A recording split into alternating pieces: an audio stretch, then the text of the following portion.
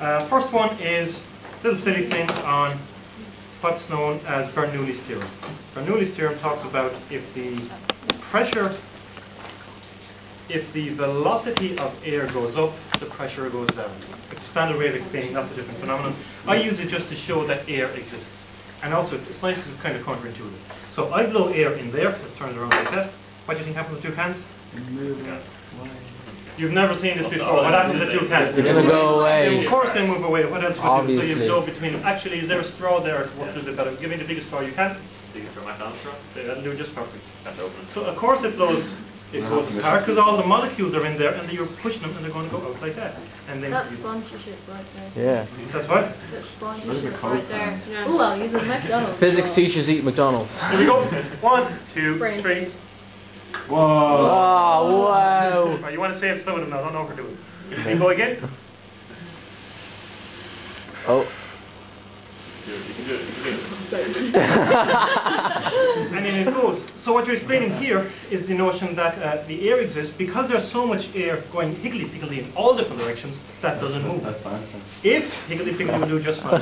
If some of the molecules that are going out in that direction are forced to travel in that direction, then they no longer shush out, and instead all the molecules that are going in this direction, even though some are going that way, the ones that are hitting off of it, are more, there's more pressure on it in that direction due to the molecules than there is in that direction. And as a result, the two guys going like that. Silly, but yet rather effective if you're teaching the fact that there is air all around.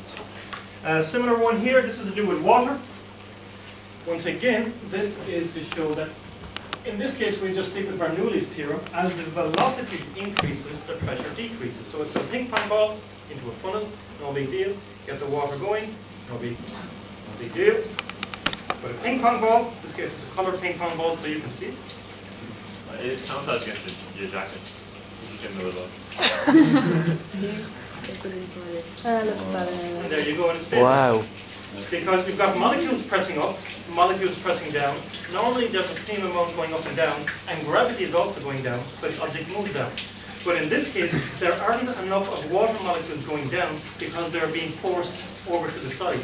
So there's not enough going down to overcome the gravity going down, to overcome the molecules going back up, I should say.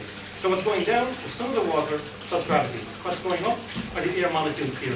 And the air molecules in this case are stronger than the the water molecules going down plus gravity. And as a result, it stays there.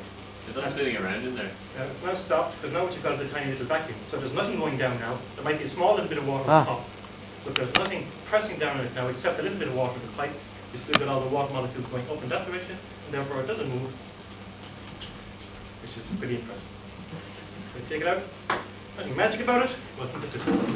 That's Bernoulli. Right, we're going to try one more on this clip. We're now going to move on to resonance. Defined as a transfer of energy between two objects. Hmm? Yeah, turn it off. Put it out there, out of the way. Uh, this is where I have to turn them into safety and wear glasses. Where do I do my glasses? Here we go. I don't need that yet. Transfer of energy between two objects which have the same natural frequency. You're familiar with the wine glasses. You rub your finger the wine glass. It's got a natural frequency. It bings at its natural frequency. So it's going in and out at so many hundred times a second. That's called so many hundred hertz. Alternatively, you can make it vibrate like this. In this case, as my finger is running along it, it's actually bumping up and down. And if I get the speed at which it bumps up and down to match the speed at which the glass moves in and out, you've got a transfer of energy between my finger and the wine glass. And as a result, the wine glass moves in and out more, and as a result, it moves in and out to the extent that we can hear it. You can do it with different types of wine glasses. It doesn't take a wine glass. It will work with any object which you can force to vibrate if you match the natural frequency of the object. This one, you've, I'm not sure if you've seen this before or not, take an aluminium rod. It vibrates at its natural frequency. What is its natural frequency? It's just a bit like that there. So that at the moment is going in and out. Now, if I can rub my finger along it, such that my finger goes up and down at the same frequency at which the rod goes up and down it, what will happen? It will resonate and you should, it should become a little bit louder. In this case, in order to make sure I got that what's known as the slip slide effect, as it's going along slip sliding, I just put a little bit of resin on my fingers. So it just helps me. I want to put this in the middle, which I'll explain afterwards, no big deal. Impressive? Yeah. yeah. Wow, While I've got it here, I'm going to flick over that just once yeah, I let it run out of there. I fill it up again. Only problem is it's making a bit of noise, so okay, it's just about stopped. Right, a couple of different things to notice. Let's get it vibrating again. That's all it takes. Because it's going up and down like that, as soon as you clamp it shut, it can no longer vibrate. So it demonstrates that it is actually vibrating. The next thing you can do with this, remember your Doppler effect? Yeah, yeah. Just by waving it like that, you find a difference in tone. Or even, if I do something like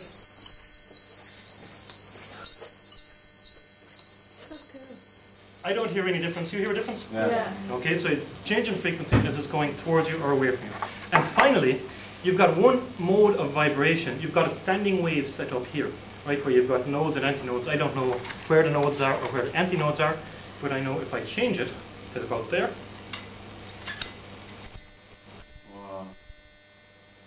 what, anyone want to make any guesses? It's higher, anything else? Uh, Anyone? left is long. Anything else other than higher?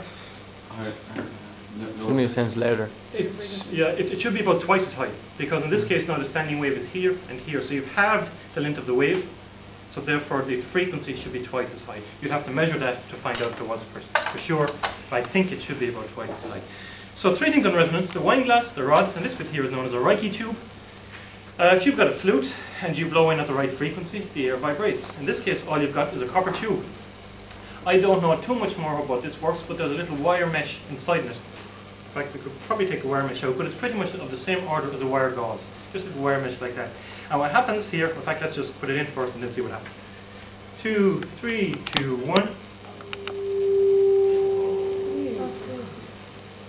Let's try that again. Three, two, one. Wow. Oh,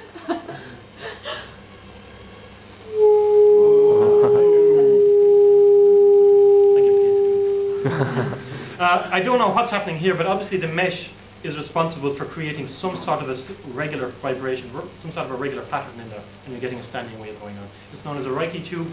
Don't know why. Maybe the guy who first came up with it was Rijke. If you move the mesh further up or down, further down the tube, it'll make a different frequency. Uh, good question. One of the things I can do. In fact, I would guess it would. Let's, uh, let's try it like this. It's getting bloody hot. Three, two, one. Sure that won't change it at all. The Yeah. didn't heat up. Probably not, but just in case. Yep, so, you, well, so it has to be down here, and I would imagine you have to push it up, you must get it slightly different. There's no reason why you couldn't push it up. Here we go. Three, two, one.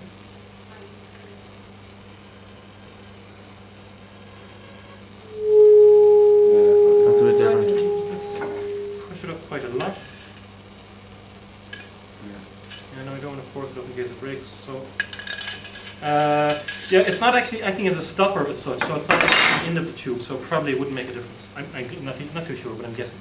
Let's put that up there, so nobody else touches it. That will do for resonance and Bernoulli. We will move on to something else in a second. You're going to shut that off.